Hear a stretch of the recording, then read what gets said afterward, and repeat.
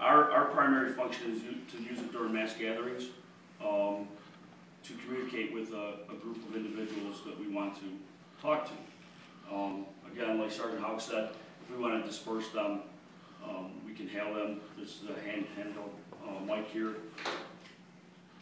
Turns on, you, you can hear it already. Um, That's on the lowest setting. Do the, does the officer operating that need to be equipped with? Yes, um, per our policy, as you can see, there's a fairly long corridor, it's probably about, uh, fifteen feet long. Um, I've operated this device at fifteen feet and hid behind my vehicle, and still had earplugs in. Um, still very loud, there's, it a